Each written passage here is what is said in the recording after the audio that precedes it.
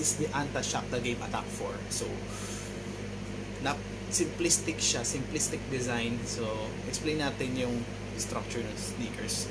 So, it uh, correct ko kayo nung nakaraan, I think Nitrotech yata, uh, Nitrogen Tech yata or Nitrogen something yung shock, anti-shock the game na seafood ko, yung anti-shock the game 6.0, yung seafood colorway.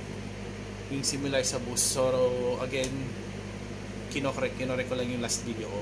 So, again, pag-usapan natin yung structure ng sneakers. Again, meron siyang so rubber shell. So, design siya for outdoor. Pero, madalas ako sa indoor. So, herringbone siya dito sa part na to. So, zigzag na herringbone. Then, knob type. Tapos, herringbone siya sa dulo. Then, yung torsional support, yung stable, yung pang stable ng foot natin is medyo on a softer side siya na A-shock stabilizer. So, torsional support, torsional support siya para hindi mag-roll yung paa mo sa loob.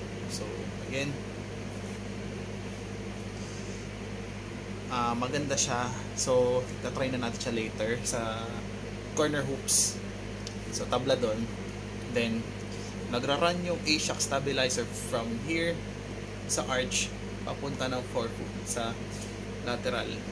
Lateral na, ay sa mid, tama, I think lateral. Tama, lateral. So, meron din siyang, kung mapansin nyo siya, yung outsole is nandito meron siyang outrigger. So, extended siya hanggang dito. So, you can, para hindi mo, hindi mag-roll yung feet mo ng paganon. Paganon siya. So, support din siya. Then, the foam is A-Shock foam. Ito talaga is legit na A-Shock foam to. So, yung nakaraan is nitrogen. Nitrogen, nitrogen technology yung ginamit na foam.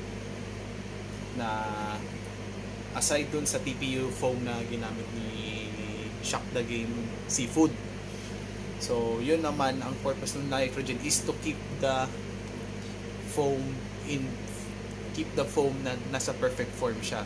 So, hindi siya nadi-deform. So, ito naman is A-Shock.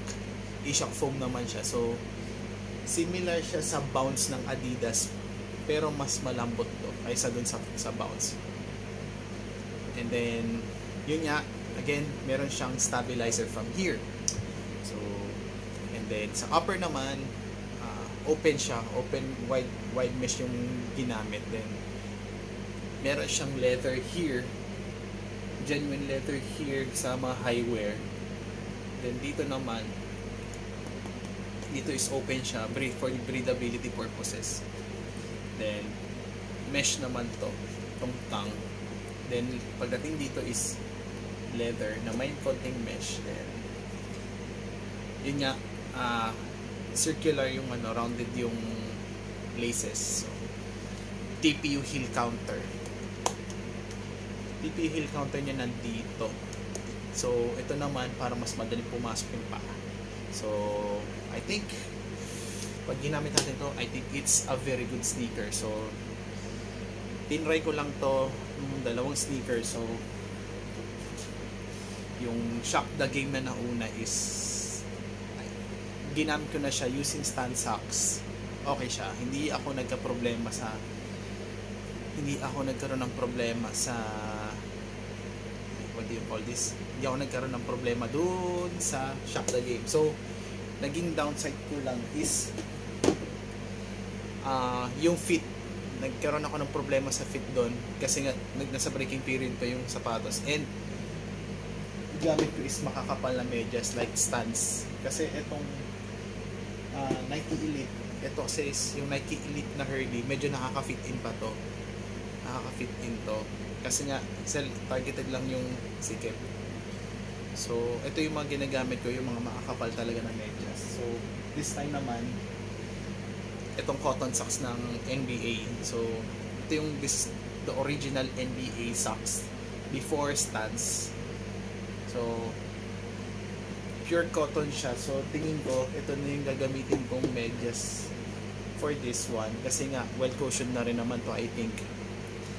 And this one naman is secondary sakso naman. So, I guess, that's wrap the video. again, this is Fumitwik TV.